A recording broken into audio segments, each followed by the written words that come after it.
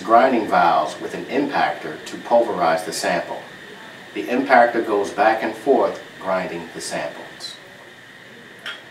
The large grinding vial has a capacity of 50 mLs or 100 grams. It has a steel impactor with two steel end plugs and a polycarbonate cylinder. You can grind sample types like plant tissue, animal tissue, and plastic in these types of vials. This vial also comes in an all steel vial. This vial is mainly used to grind hard materials like bone. This is our mid-size grinding vial set. The capacity is 25 mils or 40 grams. It consists of a steel impactor, two steel end plugs, and a polycarbonate cylinder. It is also used to grind plant material, plastics, and animal tissue. This vial also comes in an all polycarbonate vial, which it has two polycarbonate end plugs, a polycarbonate cylinder, and the impactor is coated with polycarbonate, which prevents any type of metal iron contaminations and it's mainly used for tissue samples.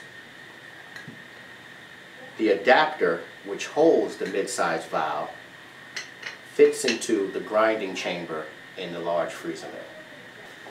This is our small grinding vial set. It has a capacity of 4 mils or 5 grams. It consists of a steel impactor, two steel end plugs, and a polycarbonate cylinder. This is used for a lower volume of grinding plastics, tissue samples, and plant material. This vial also comes in all polycarbonate. It also has two polycarbonate end plugs a polycarbonate cylinder, and an impactor that's coated with polycarbonate. This is used for softer samples like tissue samples where no metal contamination is wanted. Another option for this vial size is an all steel vial. It consists of two steel end plugs, a steel cylinder, and a steel impactor. This is used to grind harder samples like bone and also computer boards. To run either of these samples in the large freezer mill, you must use the multi-adapter. The multi-adapter allows you to grind one up to four small vial sets at one time.